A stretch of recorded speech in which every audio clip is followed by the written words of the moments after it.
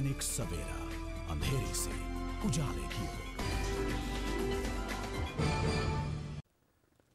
गुरु Gobind Singh avenue स्थित church में से मसीही भाईचारे की ओर से एक विशाल candle march bishop Franco Mulakkal की अध्यक्षता में निकाला गया।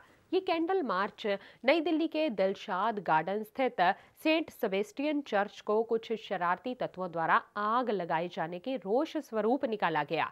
इस कैंडल मार्च में बाबा हेनरी, जिला कांग्रेस कमेटी के प्रधान राजेंद्र बेरी, फादर पीटर सहित मसीही भाईचारे के अन्य लोग भी मौजूद थे।